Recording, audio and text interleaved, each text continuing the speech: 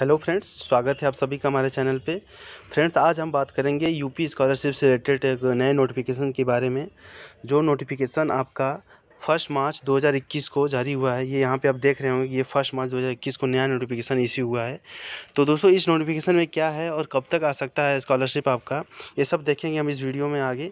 तो बने रहिए आप इस वीडियो में। इससे पहले कि अगर आप चैनल पर नए हैं तो आप चैनल को सब्सक्राइब कर सकते हैं और वीडियो को लाइक कर सकते हैं। तो दोस्तों, आइए इस नोटिफिकेशन पर चलते हैं। क्या है इस नोटिफिकेशन में और इसके इस नोटिफिकेशन रिगार्डिंग कब तक आ सकता है आपका स्कॉलरशिप तो हमने इस नोटिफिकेशन को ऑलरेडी डाउनलोड कर लिया है। तो आइए देखते हैं यहाँ पे हम न्यू टाइम टेबल दोस्तों, आपके सामने इस स्क्रीन पे आप देख सकते हैं कि ये जो टाइम टेबल है, ये फ़र्स्ट मार्च आपका दिनांक फ़र्स्ट मार्च 2021 को जारी हुआ है। इस टाइम टेबल में क्या है आपका? ये निदेशक समाज कल्याण, उत्तर प्रदेश, लखनऊ। जनजाति विकास, उत्तर प्रदेश, लखनऊ। तो इसमें आप पढ़ सकते हैं, वीडियो को पॉज करके कि इसमें क्या क्या नया है जानने के लिए। इसमें देखिए टाइम टेबल इस टाइम टेबल के अकॉर्डिंग आपका स्कॉलरशिप कब आ सकता है आपके अकाउंट में? आगे हम इस नोटिफिकेशन को आगे पढ़ते हैं।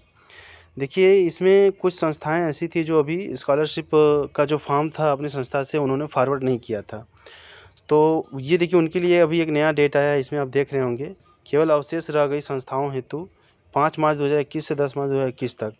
वो क्या है, जिस जिस जिस इंस्टीट्यूट ने चाहे वो आईटीआई हो या फिर इंटर कॉलेज हो या पॉलिटेक्निक हो, बीटेक हो, जिस भी इंस्टीट्यूट ने अपने स्कॉलरशिप का फॉर्म जो है कि फॉरवर्ड नहीं किया अपने कॉलेज से, वो अपने फॉर्म को पाँच मार्च दो हज़ार इक्कीस से दस मार्च दो इक्कीस तक फॉरवर्ड कर सकते हैं कॉलेज से।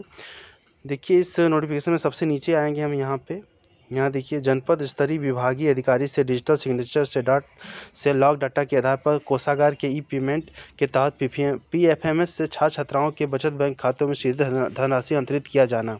ये कब तक है आपका? देखिए, ये 25 मार्च 2021 तक। दोस्तों 25 मार्च 2021 तक सभी कैटेगरी के, चाहे वो ओबीसी हो जनरल हो या एस सी हो, सभी कैटेगरी का जो स्कॉलरशिप है, उनके अकाउंट में डायरेक्ट जो है कि ट्रांसफ़र कर दिया जाएगा। तो इस नोटिफिकेशन में बस यही बताना था कि आपका स्कॉलरशिप जो है कि पच्चीस मार्च 2021 तक आ जाना है आपके अकाउंट में। श्योर है, ये देखिए यहाँ पे सब कुछ सिग्नेचर वगैरह है, ये एक अथेंटिक नोटिफिकेशन है। इसको आप scholarship U P dot N C dot in से जा करके डाउनलोड भी कर सकते हैं। तो दोस्तों, वीडियो को देखने के लिए आपका बहुत बहुत धन्यवाद।